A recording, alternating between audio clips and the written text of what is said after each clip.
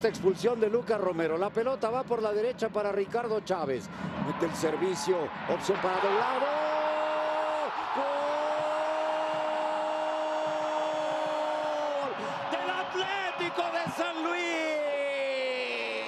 Dourado el brasileño hace una jugada coqueta en el área y la manda cambiar de ritmo en esa zona.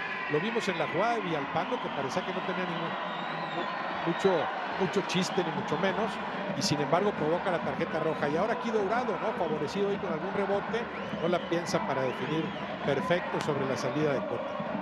Con permiso, dice al defensa. El pase es de Ricardo Chávez. Adiós, Chávez. le dice a Fidel Ambriz. Y para adentro, otros ojos en el gol. Karen Peña. Desde luego la banca de